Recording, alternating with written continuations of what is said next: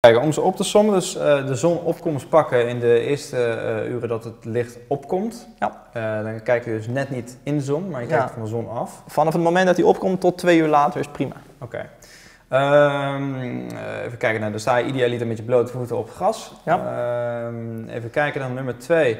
Even kijken, schelpdieren. Ja, zoveel mogelijk vis eten. Liefst niet gekweekte vis. Schaal- en schelpdieren om de DHA. DHA zorgt eigenlijk voor dat je het licht kan absorberen wat er is. Seizoensgroenten. Ja, Eh, en seizoens- lokale, lokale groenten Graag. dan... eh, ja, seizoensgebonden lokale producten eten. Die matchen met het circadiaans ritme wat er op dit moment aan de gang is. Mhm.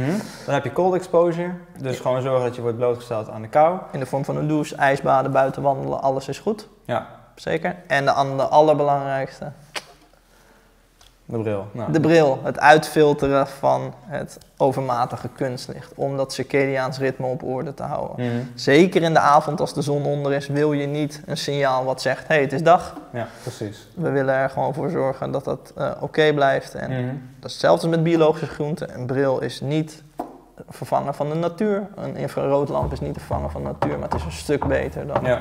dat.